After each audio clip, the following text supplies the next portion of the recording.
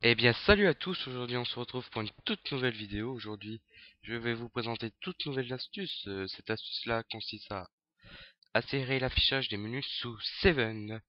Donc s'il faut, euh, si vous n'avez pas Seven, regardez un peu si vous êtes compatible.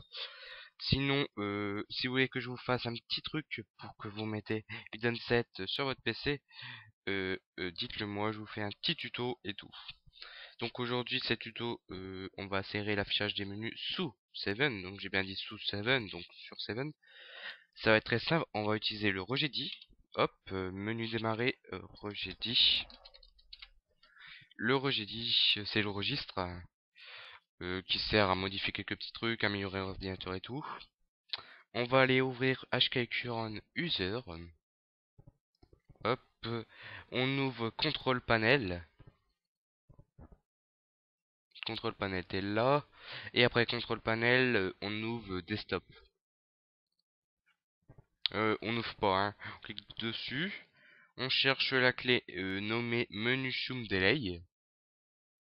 Menu shoom delay. Donc voilà, elle est là. Et normalement par défaut elle est à 400. Et on va passer sa valeur à 0.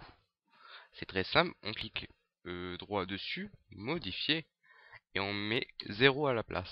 On fait OK. Et puis voilà. Euh, après, il vous suffit de redémarrer et les arborescences s'afficheront instantanément. Donc voilà. J'espère vous avoir aidé. Euh, que votre ordinateur, que l'affichage euh, des menus sous 7 iront beaucoup plus vite et tout. Allez, on se dit à très bientôt. Abonnez-vous, likez et mettez un petit j'aime. Allez, ciao ciao tout le monde